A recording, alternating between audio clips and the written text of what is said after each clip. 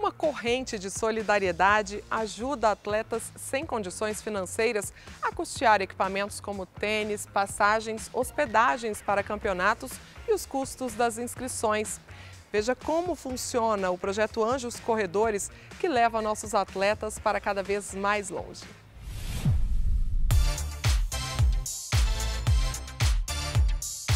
Os Anjos Corredores nasceu porque eu pratico um esporte chamado corrida de rua. E eu comecei a ver muitos atletas em situação de vulnerabilidade social que precisavam de apenas um pequeno incentivo. Um par de tênis, uma passagem para disputar um importante torneio. E para isso eles faziam vaquinhas e rifas e muitas vezes não alcançavam o objetivo. Aí eu falei, nossa, vou juntar aqui alguns amigos.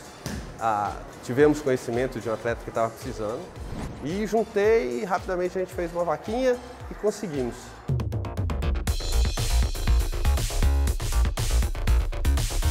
Como principal objetivo a gente tem entregar o produto ou serviço que aquele atleta está precisando no momento da competição ou não. Então vai a tênis, chuteira, passagem de avião, hospedagem, depende muito do que precisa. No caso aqui do Juventude Team foram todos esses equipamentos que eles precisavam, é, mas a gente não entrega o dinheiro, é sempre um produto ou um serviço. Eu acho que é muito importante para nós aqui de comunidade, porque nós não recebemos muito apoio da galera daqui. E esse projeto do Anjos aí vem ajudando bastante a gente. A gente está dedicado a cada dia mais, graças aos equipamentos que eles forneceram para a gente. Aproximadamente 140 atletas a gente já conseguiu beneficiar. Fizemos quatro ações, quatro campanhas que eu chamo, né? São quatro campanhas vitoriosas, lindas e brilhantes. A primeira campanha foi com o pessoal do, da Ceilândia de handball. A segunda campanha foi o Emanuel, ele é campeão brasileiro de jiu-jitsu. A terceira campanha foi aqui no Juventude Team, a quarta foi com a Nayane e o Ângelo do projeto Clube dos Descalços, no Recanto das Emas. Esporte me salvou. Sem o esporte eu não seria nada hoje. Eu tenho minhas medalhas aqui dos campeonatos que eu participei. Eu tenho essa aqui de jiu-jitsu que eu fiquei em terceiro lugar. Essa aqui que eu fiquei em primeiro no final de semana que eu participei.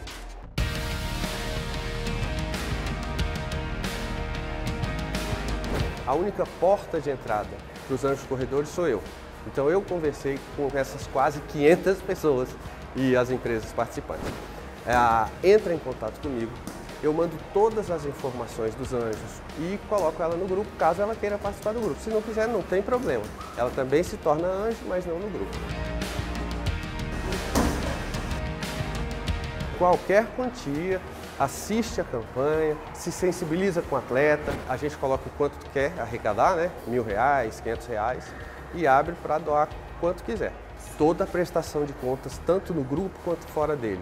E o vídeo de entrega do material, né? Sempre tem um vídeo entregando o material que a gente adquiriu. É emocionante, né? A gente acaba se emocionando mesmo, porque ah, existe um momento na vida da gente que a gente precisa dar de volta ao mundo toda a prosperidade que você recebeu.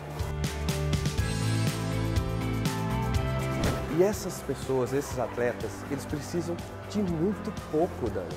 É, você nem imagina o que faz a diferença na vida deles. Um par de tênis para mudar.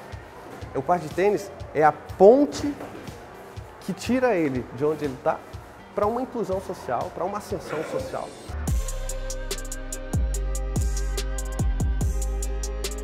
No início, nossos materiais eram praticamente inválidos, né? Não, tinha, não era muito eficiente para o treinamento de alto rendimento que os meninos têm hoje, não era muito rasgado, material muito deteriorado mesmo. Quando o Júnior entrou em contato conosco, falou, poxa, eu queria ajudar, queria conhecer um pouco do projeto de vocês, a gente falou, não, estamos de portas abertas, né? Quando ele chegou, trouxe esses materiais, mudou totalmente o treinamento dos meninos. Ficou mais efetivo, ficou mais harmonioso, é, é válido na questão da capacitação profissional do esporte desses meninos, demonstraram um alto rendimento dentro da capacitação, no treinamento. Até o nosso fisioterapeuta falou, cara, um material desse é muito mais efetivo do que o material anterior. Então a gente é muito grato aos Anjos Corredores por toda essa doação. O esporte traz a disciplina, o esporte traz o comprometimento e o respeito pelo próximo. Né? Quando a gente entrega esse material, a gente não está entregando só material, a gente está falando, eu acredito em você.